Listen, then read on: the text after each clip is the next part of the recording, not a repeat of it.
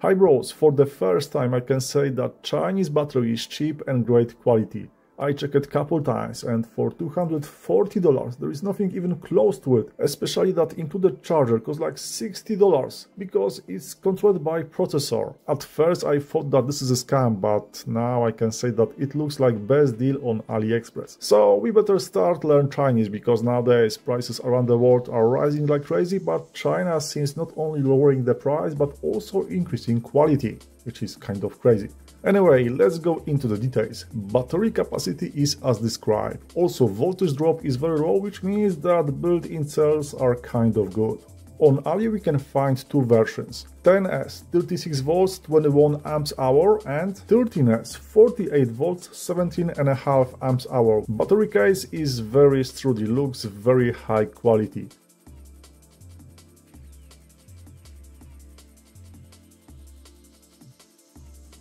Under the battery you will find power out fuse, on off switch,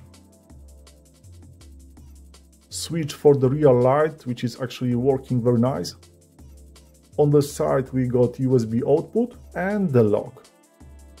So yeah, battery alone is worth more than $250 because of the capacity and low voltage drop. In Europe there is nothing even close for the price, you have to pay at least $600 and all those other cheap Chinese batteries which I test are very bad quality and in most cases they've got like half of the capacity. So yeah, this deal seems to be like out of logic crazy. Battery rack is very beefy, you can see those big pipes. It's not flexible at all. Customer tested already for over 2 weeks and is very happy. He just put some heavy groceries and yeah, it's not flexible at all.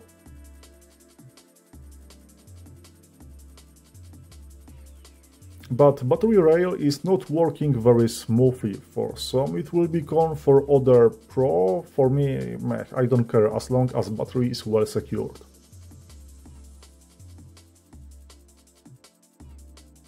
Installation is very simple, should fit to city bikes with wheels from 26 to 29 inch. Also worth to mention is that there is special place for the controller inside the second black cover.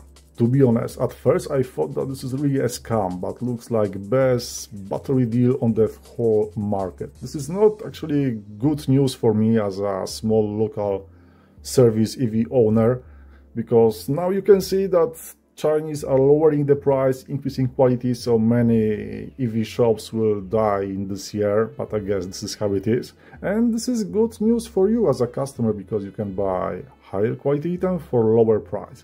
And it's even crazier because if you buy something from AliExpress, you can test it.